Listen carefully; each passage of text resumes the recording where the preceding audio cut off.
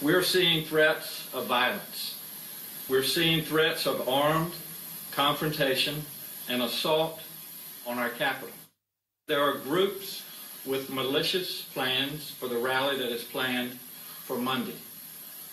This includes out-of-state militia groups and hate groups planning to travel from across the country to disrupt our democratic process with acts of violence. No weapons will be allowed on the Capitol grounds. Welcome back to America Talks Live. I'm Jonathan Gilliam, filling in for my good buddy John Cardillo. That was Virginia Governor Ralph Northam declaring a state of emergency ahead of a pro gun rights rally on Monday. Northam says that there have been threats of violence and all weapons will be banned from the Capitol. Now, he also said, I watched that, he said that not only guns, but we're also talking about sticks and knives and everything else. Officials say all people attending the rally will have to enter through a security checkpoint. The Virginia Democrat is the leading advocate for more gun control in the state. And the FBI has also arrested three people suspected of being neo Nazis ahead of the rally. So that's where I want to bring in, I guess I'll call him a good friend of mine, uh, Brian Kovacs out in Arizona, God's country out in Arizona, He was founder of TalkingGuns.net. Brian, it's always good to uh, to have you on, and it seems like we're always talking about Ralph Northam, who comes on, declares a state of emergency, and kind of skips over the fact that he's responsible for this state of affairs that are occurring uh, in Virginia. Thank you, Jonathan. Yeah, it's kind of ironic that he's declaring a state of emergency ahead of what he feels is going to be basically a domestic terrorist act, which we know for a fact isn't. You have people that have the right to peacefully assemble. You have the right to go to your capital and let them know what you think about the laws and that they are unconstitutional. This is it's unprecedented. I, I don't think we've seen this even before in California, New Jersey, New York, anything like that. So Monday's rally is definitely going to be interesting. They are trying to make it into a white supremacy event. They are trying to cause, you know, deliberate, uh, you know, action from law enforcement ahead of time.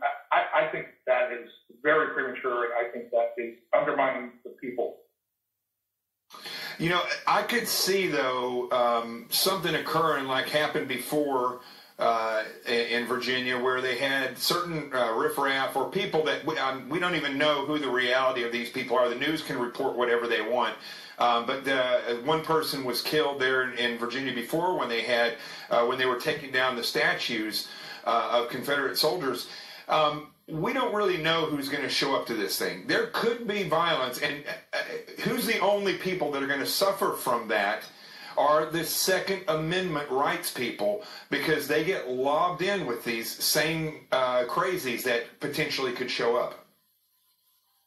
Exactly. So the problem is that we're not going to know the truth of who the people are that could cause the violence if they're paid to be there or if they are actually supporters of the left just trying to incite people that are gun rights or advocates for the Second Amendment that will be attending the event.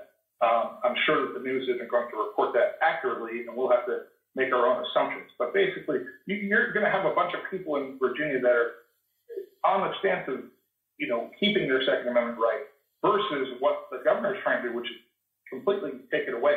It, it, there's no exemptions in here, even for hunting rifles and things of that matter. I mean, they're, they're even outlawing things such as thumb hole stocks. So it's not a matter of the evil what they call assault weapons, which we still don't have a clear definition of. They just lump everything in, and it, it's very disturbing. And I, I'm eager to see what happens on the 20th and if it makes an impact. Yeah.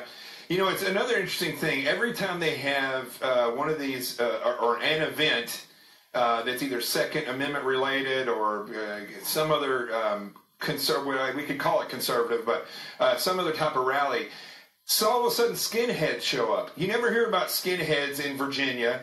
Uh, when I was in the FBI, there were maybe a few that I ever heard of any type of attacks or anything like that. Mostly it's prison related when we talk about skinheads. But somehow the FBI has arrested three neo Nazis and skinheads, um, as they call them, right before this. I find that very interesting.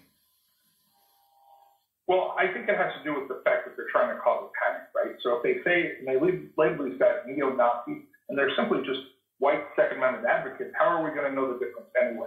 Until they present everything, they present their evidence to lead us to how they discovered that they were neo-Nazis.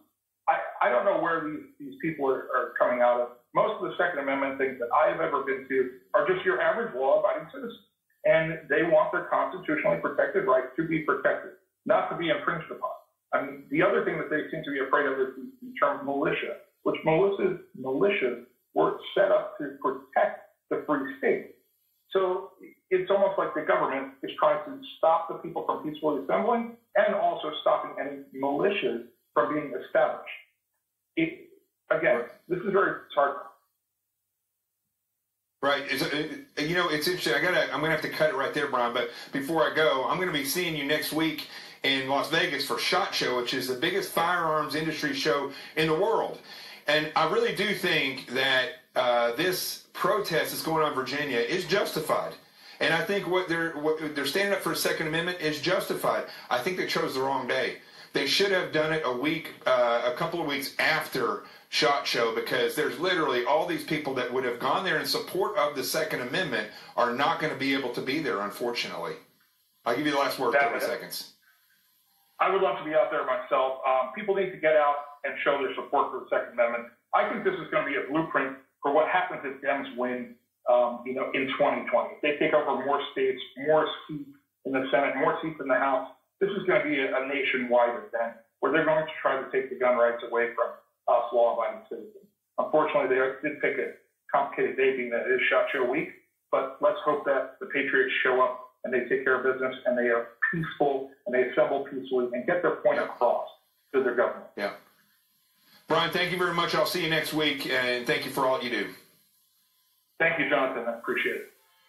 You got it. That's Brian Kovacs at TalkingGuns.net. We'll be right back with more on America Talks Live.